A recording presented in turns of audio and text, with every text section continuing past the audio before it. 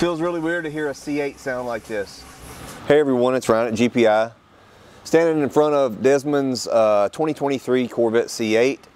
So we've done a bunch of work on this. We documented our results along the way and I want to go ahead and drop some numbers for you and talk about our build and let you know what we did to the car and what we encountered along the way, kind of our experiences with the our first cam head C8. You know, we've done a couple power adders, a twin turbo and a couple Pro Charge C8s. I would say that uh, this car NA will run circles around the power adder, you know, turbo and the Pro Charge stuff that's out there right now because a Pro Charge car on our dyno makes about 580. This makes about 15 less horsepower.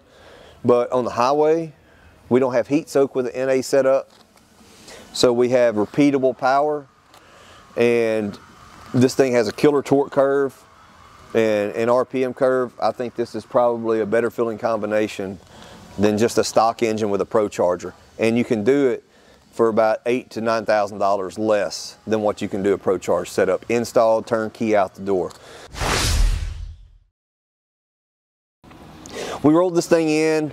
It only had like 2,000 miles on it or something, 2,500 miles, low mileage setup. Strapped it to the rollers to see what it made stock. Uh, on our dyno, it made 449 rear wheel horsepower and 437 rear wheel torque.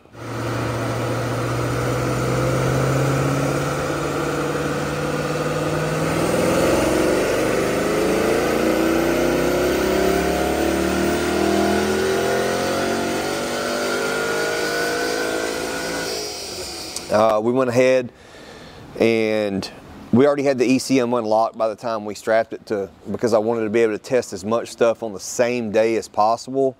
So I went ahead and wrote a tune to see if I could maximize and make any improvements over the factory tune and it was very, very minimal. Uh, I did pick up about seven horsepower in the upper RPMs. Most of that was just due to being able to lean it out just a little bit and I made just a couple of little small VVT cam changes and I can't say that it even made much difference because you know from pull to pull you may vary one or two horsepower one or two foot-pounds of torque.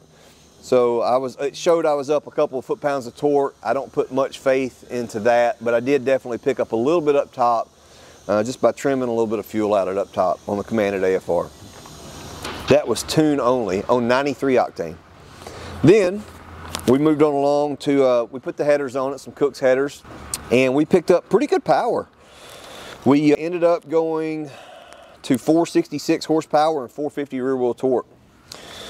And that's from 456 tuned. So basically tuned on both setups, just with the Kooks headers, it made um, 466. Went ahead basically and did a Haltech airbox on the car. Same day, the airbox wasn't here. We had to pull the car off the dyno. I put it back on the dyno, and instead of 466, this next time it was on the dyno, made 470. Basically with headers and tune only, it made 470. But I wanted to baseline it again, then do the Haltech airbox on the same day. So we did the Haltech airbox, and we picked up six horsepower, six and a half horsepower. It made 476.5 and it picked up three foot-pounds of torque from 457 to 460. So that was pretty much where we stopped with the basic bolt-on stuff. So from there, we went ahead and we went on with our build. We dropped the engine out of the car, dropped the cradle, uh, went through that process. It's just time consuming, not terribly uh, complicated to do.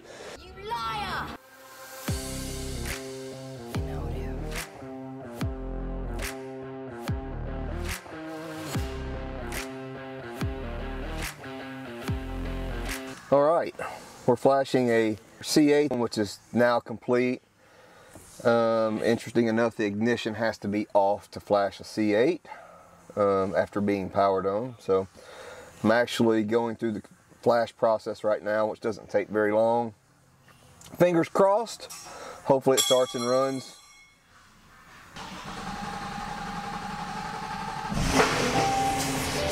Oh, it runs. Yay!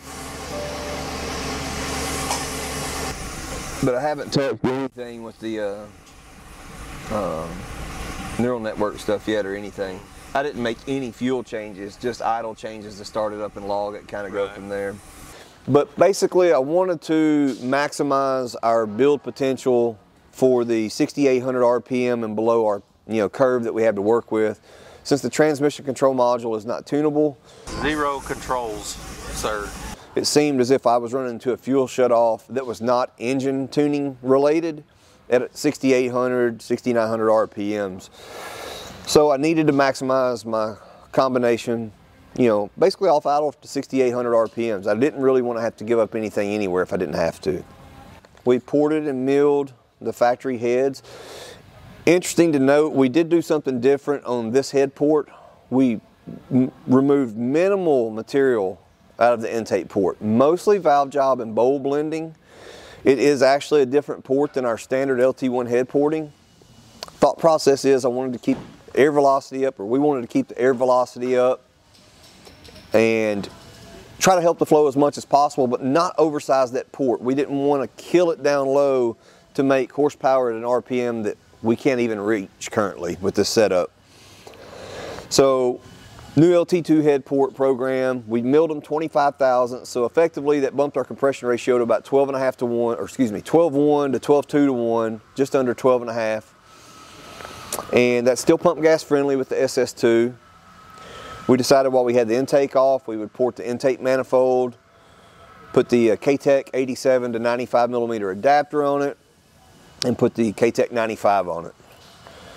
So with those changes, still pump gas, pump 93, with our SS2 cam, the addition of the ported and milled heads, slight bump and compression, and then the intake and throttle body mods, we went from 476, we went up to 536.9, so basically 537. Torque jumped to 486.7. So I started the cam setup about 3,200 RPMs, the dyno pull. 3,200 RPMs and up, we were still over the factory cam curve. We didn't lose any torque all the way down to 3,000 RPMs.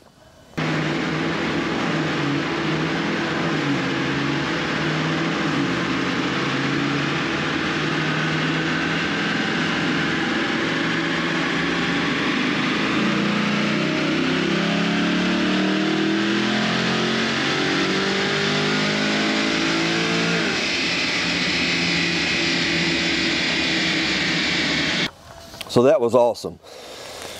Gains versus stock, 449 to 537, huge gains. Um, probably not the amount of gain you would see on an LT1 car, but keep in mind the LT2 has a little bit revised cam profile. It already comes with an LT2 intake on it, so you know the LT1 when you mod it kind of gains a little bit more. It makes up a little ground because the LT2 already starts better, but doesn't really lend you as much to gain with intake manifold mods and, and everything like the LT1 cars since the LT2 intake is already a good bit better than the LT1. Um, then we moved on to E85 DSX Flex Fuel Kit. We're gonna do a road test with Flex Fuel. See what this thing lays down 60 to 130. Hopefully, hopefully my Dragy's charged up. Oh, no Dragy found. Sweet. So it's dead. So all I can do is try to go off of 60 to 130 on the log, I guess, because I'm waiting for it to charge up. Oh, this thing is so ridiculously smooth.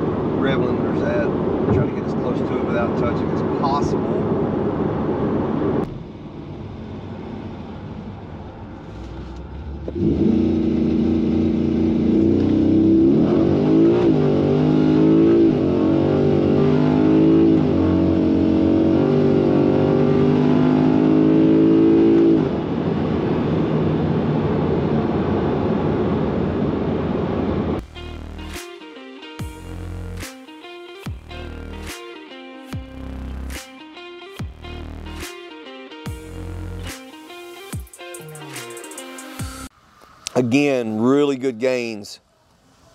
Went from 537 to 564.5, so 565. Torque jumped all the way from 487 to 513. This thing's making 500 plus foot-pounds of torque from 4,000 RPMs and up. Killer torque curve. Again, not giving up anything down low versus our factory setup and gaining everywhere through the curve, gains growing exponentially as the RPMs increase. Killer combo. I've done a lot of driving and testing on the car. I don't have any complaints. Didn't really know what to expect with the drivability with the dual clutch setup. It's smooth on initial takeoff. It drives smooth, shifts great, just like factory obviously. And there's no cam surge or cam buck at low RPM cruising. So no negative things to mention with the drivability of the car. It did great. Tuning aspect, it being a new platform, people not knowing what to expect, myself included, it wasn't bad in my opinion.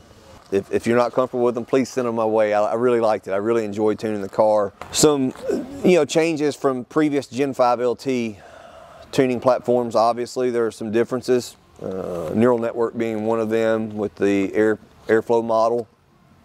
All in all, HP Tuners worked well for us in doing everything we needed to do with the car. Now I just need to unlock the TCM so we can crank the RPM up and uh, and get more aggressive with the combination. So hope you guys enjoyed the information. It was fun doing this first C8.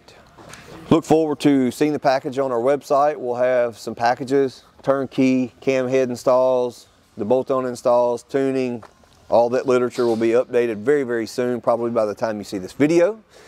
And uh, stay tuned, guys. We appreciate you for tuning in. Hope you enjoyed the content. Thanks.